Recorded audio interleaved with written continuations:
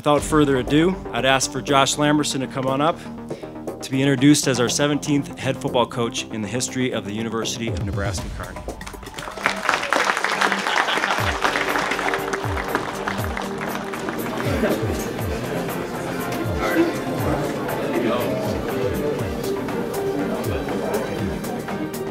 What up, Bluebirds? Welcome back to the uh, 2015 version of the University of Nebraska Kearney Lopers. as we come together as one. And that's what it's going to take.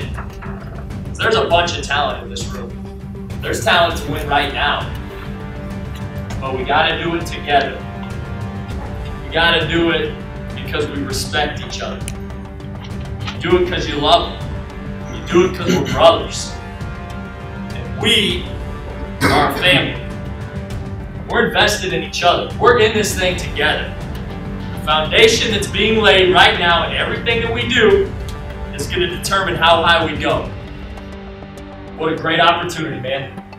It's right in front of me. Because I promise you, we've been around. We watched the film. We watched you guys play. A lot of us coached against you. You got it. Now you got to do it all the time. Now you got to be a winner. Now you got to stand in front of the mirror and not just think it, but you got to say it. And you got to walk it. So you might be called out for being held accountable. Because it's an accountability standard, it's the Loper standard. If you can't live up to it, get out. If you can, prepare for a whole new journey that you've never been on.